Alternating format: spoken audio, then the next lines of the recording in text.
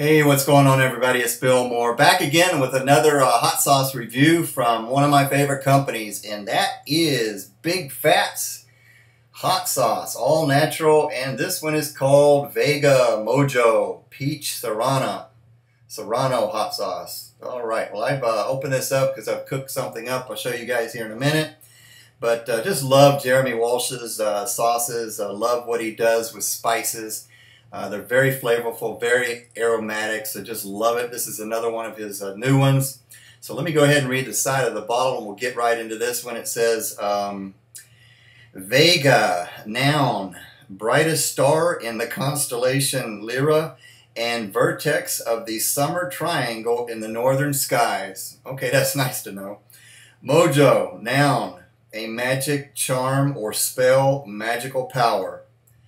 A vernal nebula springs to life as sweet peaches and Vidalia onions frolic together in perfect harmony.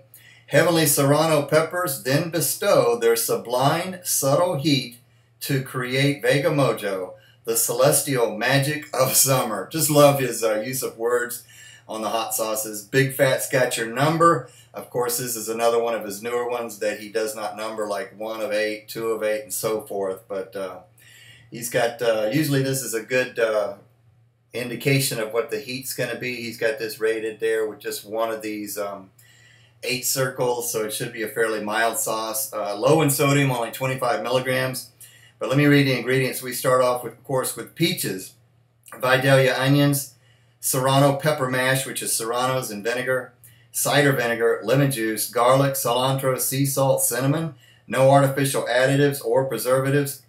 Color of the sauce may vary to natural ingredients. And then he's got some instructions in here you need to follow. Number one, shake it, use it, love it, and repeat. Okay, well, let's go ahead and get into this one. This is probably one of his more um, thinner, uh, definitely vinegar-based sauces. And you can just see the spices in there. And uh, when you smell it, the aroma on this one is you do get a, a, tartness from the apple cider vinegar. So this one has more of a vinegar aroma coming through on it. But you do smell the cinnamon. Um, that is coming up from the, uh, the bottom. Yeah, you definitely smell the spices in here just like on all of his sauces. Um, you smell the sweetness kind of from the peaches. You smell a little bit of the onion flavor but you smell the spices. Cinnamon's definitely coming through on this one, but uh, this has a tartness to it uh, coming from the apple cider, or the, not apple cider, well, cider vinegar and the uh, lemon juice. Smell a little bit of the garlic. Uh, don't know about the cilantro, but if it's there, it's just, uh, you know, kind of in the background a little bit. But uh, let's go ahead and put this on a spoon. All right, here we go. So once again, this is definitely um, more one of his more looser sauces. Mm.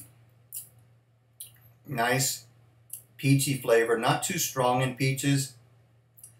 Vinegar, if you're not a fan of vinegar, the vinegar, the cider vinegar flavor is coming up a little bit more in this one than a lot of his other sauces. But I'm a vinegar fan. Uh, I like that, but you can taste the uh, peaches. You can taste the um, the flavor of the serrano peppers. Um, you can taste the onions, of course. The Vidalia onions, very popular here in the Carolinas. Love that.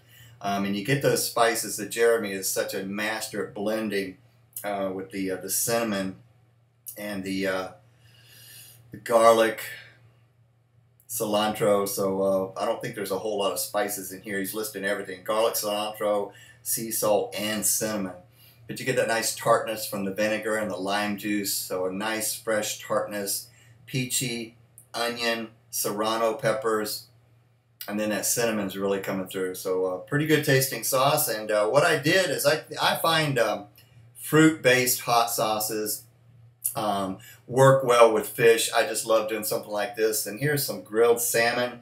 This is the uh, Vega Mojo grilled salmon fillet on top of a bed of brown rice. Doesn't that look good, everybody?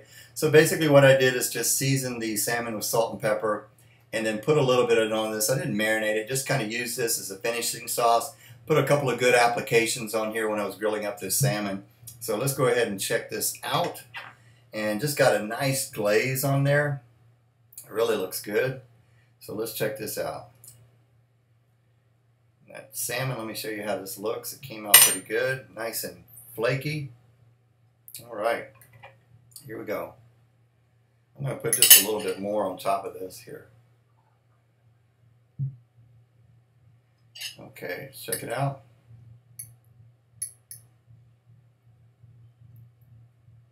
Mmm.